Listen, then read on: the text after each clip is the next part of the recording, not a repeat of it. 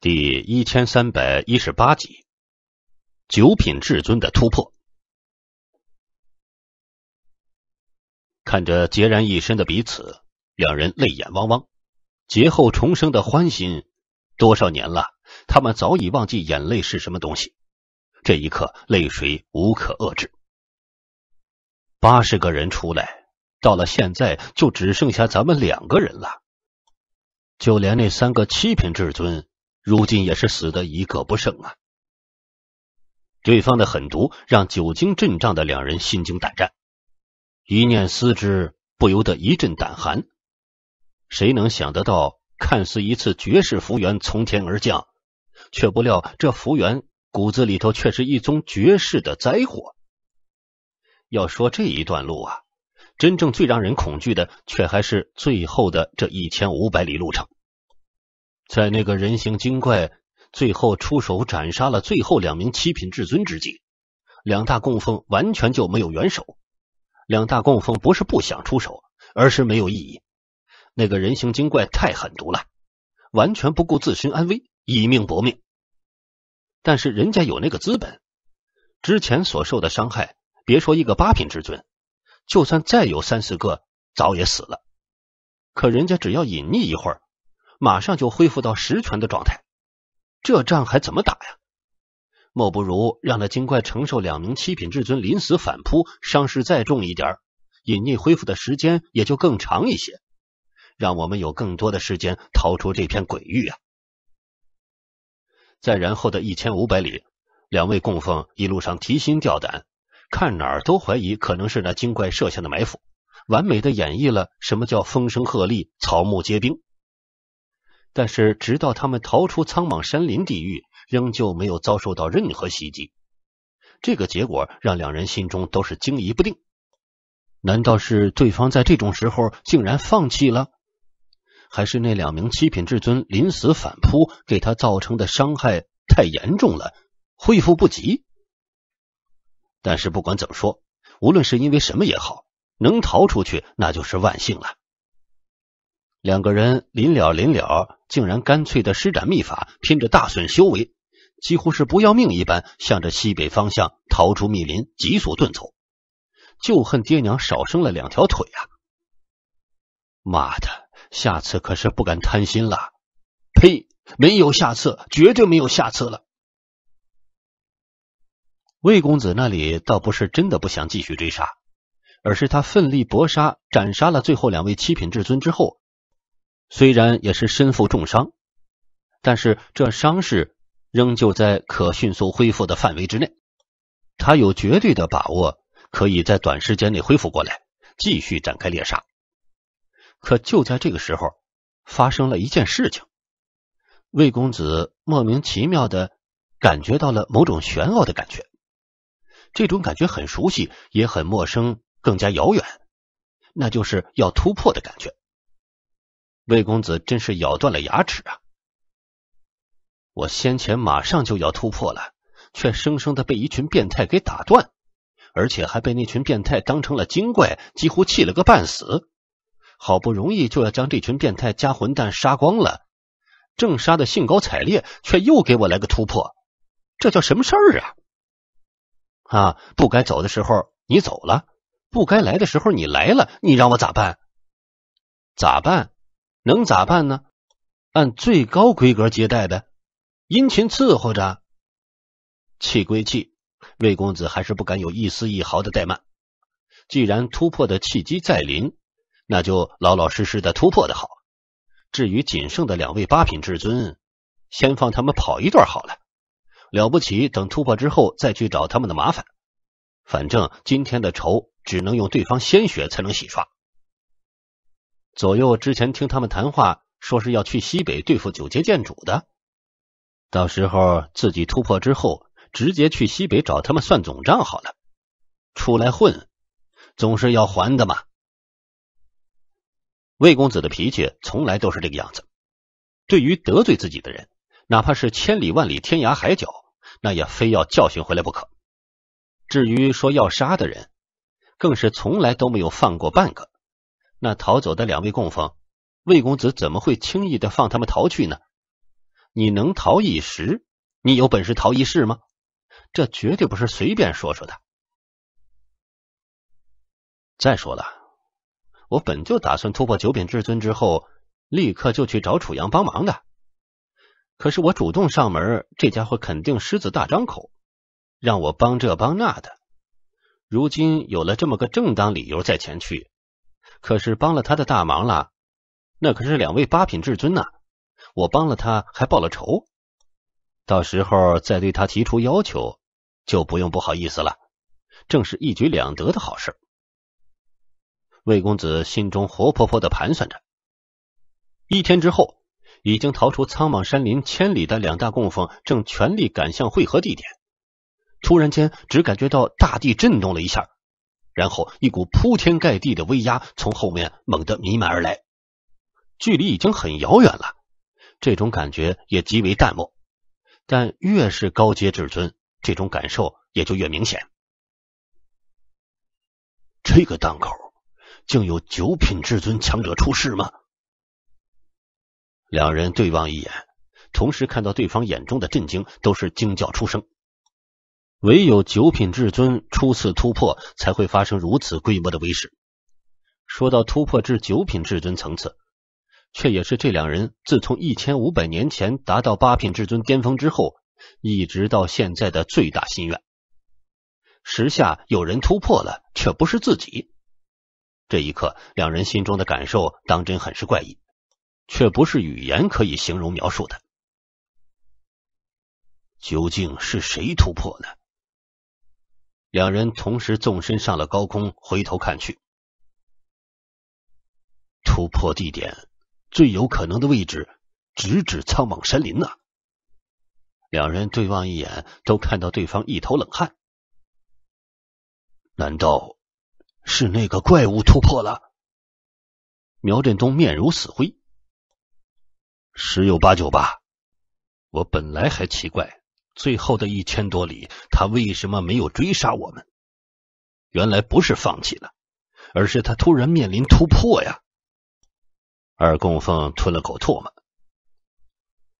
若当真是他突破成功，咱俩岂不是惹上一位？难以匹敌的大敌呀！苗振东老脸都扭曲起来。尼玛呀，要不要这么坑爹呀？一路追杀我们玩，完了完了，还弄个突破，这不是让我们今后都要活在梦魇之中吗？我甚至怀疑，他就是因为跟我们的战斗才突破的。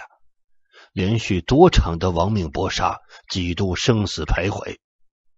同处巅峰状态的他，突破也并非奇事。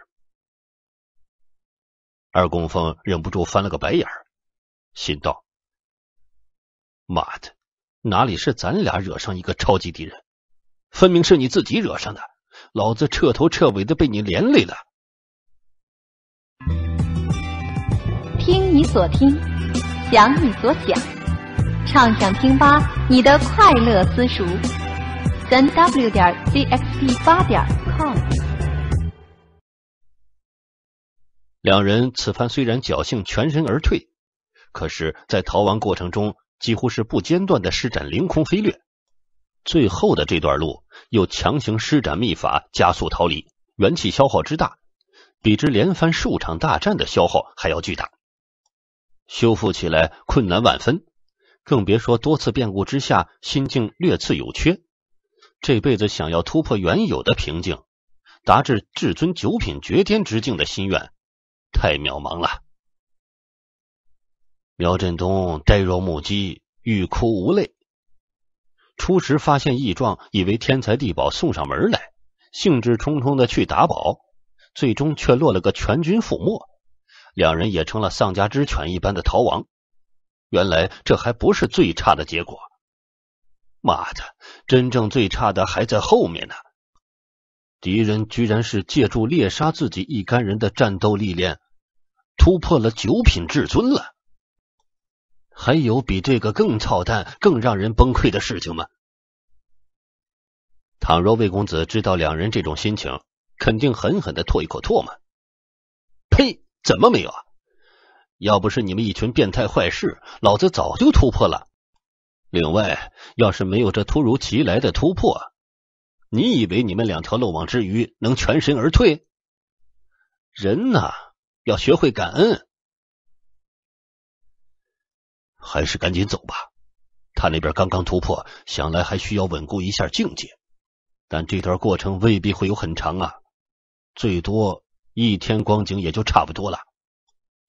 以我对这精怪的观察，那他的记仇心理极度恐怖，一旦突破完毕，定然会来找我们的麻烦。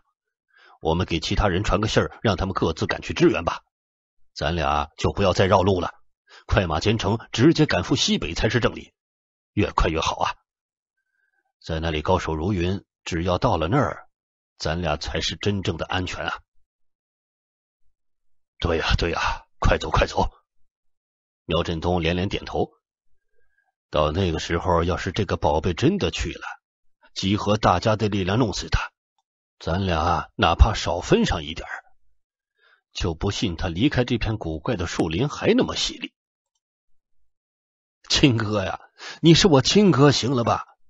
您就发发慈悲，别想着弄死人家了，人家都九品了。二供奉一阵的无语，赶紧屏蔽神识，走吧。两人加快速度，嗖的一声消失的无影无踪。又是一天半之后，苍茫山林的外围，呼的一声出来一条俊硕人影，一身青衣，一脸的平静和缓，身长玉立，自然而然的带着一种云淡风轻的雅量高致。来人正是魏公子。只见他分辨了一下方向，很干脆的直接动身，方向也当然确定无疑。西北，楚阳，我来了。不知道你还记不记得当初在中三天咱们之间那个约定啊？那可是我精灵一族最大的希望啊，最大的愿望。咱至尊九品绝世强者魏公子来了。叶家，叶晨晨正在厅中闭目端坐，静心养神。突然有人急速前来禀报：“启禀老祖宗，大少爷突然不知去向。刚才小的去为他送饭，却发现房间门户大开，也不知道他去了哪儿了。”叶晨晨叹了口气：“不要管他了，看好家吧。”下人退下之后，叶晨晨缓缓的睁开眼睛，眼神复杂到了极点。叶醉的离去。他又怎么可能不知道呢？叶醉的一切动向都在他神识笼罩之下。昨晚叶醉拼命的撞破禁制逃出去，叶晨晨并没有出手阻拦。但愿你能找到自己的路，能活着回来啊！要是真的找不到，也不用回来了。就算回来。我也会亲手把你毁了。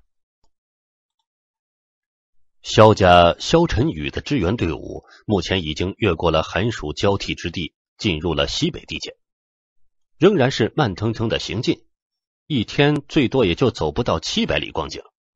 这个速度较之平常人自然快了数倍不止，但是比较起这些人本身的实力来说，却简直是慢得如同老牛在爬坡一般。